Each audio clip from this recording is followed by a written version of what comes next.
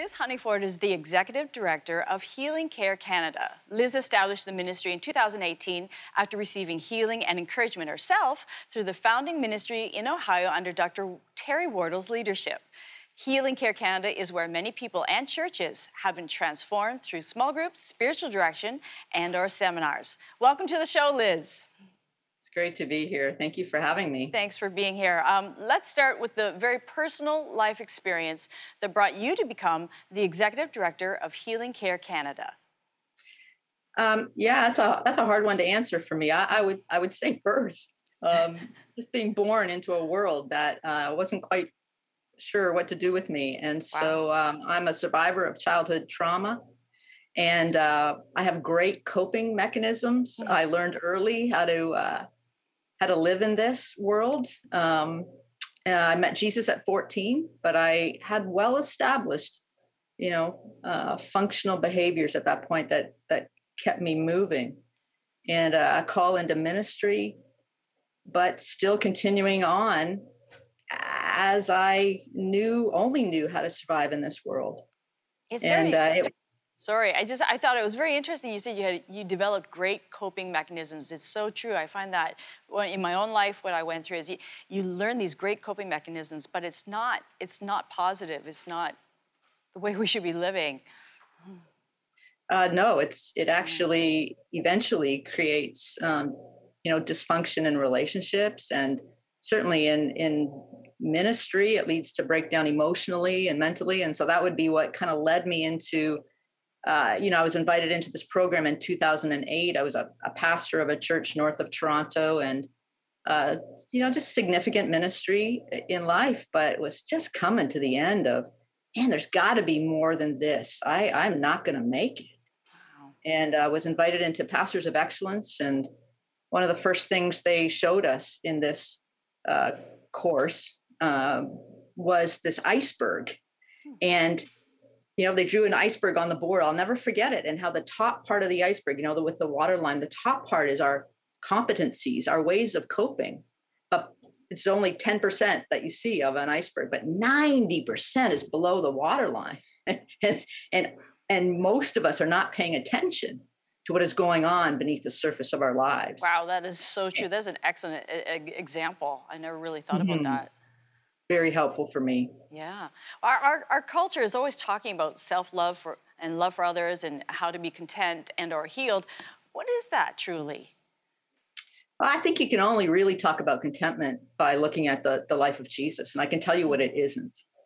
You know, contentment is not a detachment from emotions mm. because Jesus Jesus had every emotion from anger to, to, to agony to, uh, to disappointment to sadness, you know, feeling forsaken by God. Why have you forsaken me?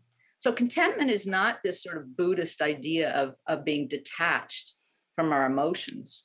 I'm so glad rather, you said that because I'm very emotional. Go on. well, there. That's you know. It, the thing is, is but it's how do how do we deal with those emotions? Right. What, what is what are my emotions telling me about me and about what I really believe about God and about the world? Um, am I safe? You know, am I am I okay to come forward as my true self?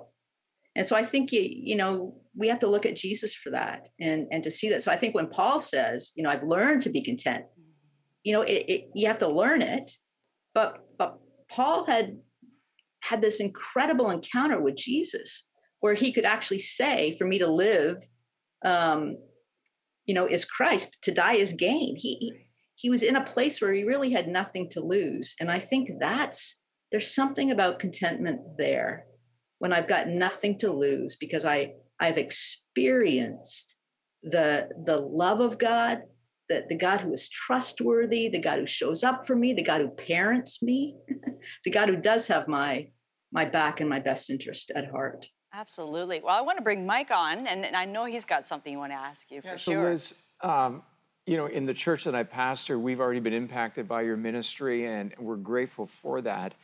Uh, as you talked about your coping mechanisms when you were younger, and then you were leading ministries as you got farther along, um, yeah. My question is, um, how did you fake it? And you know, how did you address it when it really came to light in your own life?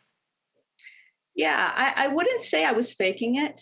Uh, I was treading water um, as well as anybody else, and you know, the Holy Spirit, uh, he anoints he anoints us uh, for the sake of others. You know, out of love for for others, and so it wasn't so much faking it as I didn't know.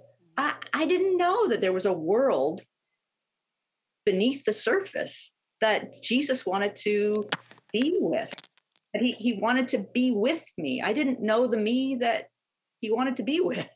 So as, I, you, as you came to the I place of breakthrough, yeah. was there a couple specific things that happened to you that, that God just kind of brought into your awareness? Well, yeah, this idea that there is a, a world going on beneath the surface of my life that is crying for attention uh, that was that was a big eye opening to me. And then that there was a pathway forward that many had walked this path before towards saying uh, no to to to a kind of shallow Christianity or or a ministry where you actually you know die in the process of it, as, as opposed to finding this abiding rest in what Jesus has already done for me and letting him live his life through me. Right. That's a huge statement uh, to say we want him to live his life mm-hmm. through us. And, and really, that's part of the journey. If you had something to share with people, just kind of as a final close today, um, what would that be today? Uh, that there is hope.